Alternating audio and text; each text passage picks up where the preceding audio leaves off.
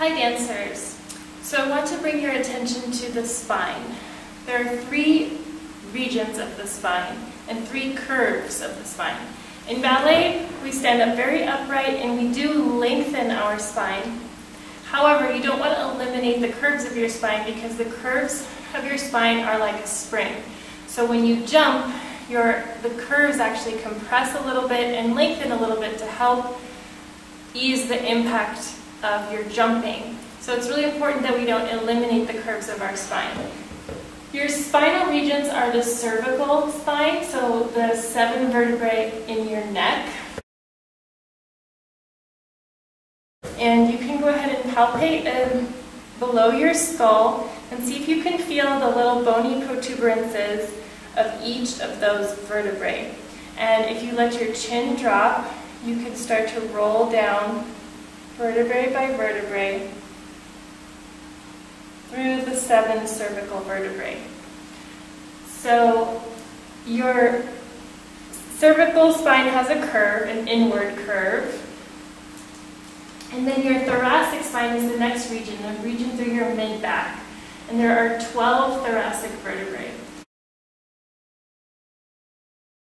So the curve of your thoracic spine goes the opposite direction cervical spine curves inward and the thoracic spine curves outward.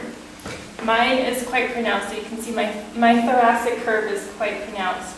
Um, you can palpate a little bit coming down from your cervical spine and try to palpate, see if you can feel the bony protuberances of each individual vertebrae. And those come all the way down to your low back, which is your lumbar spine. So in your lumbar spine, you have five vertebrae. And, the, and again, the curve reverses. So there's an inward scooping curve in your lumbar spine. And you can feel that curving inward right here above your sacrum. So again, you have the cervical curve, the thoracic curve, and the lumbar curve. And then you have the sacrum, the sacred bone, and the coccyx, which has its own curve. So those are the regions of the spine. And sit, try sitting in a chair and just rolling down, letting your chin drop. And imagine that each vertebrae is like a block and you're pushing the block off the stack one block at a time.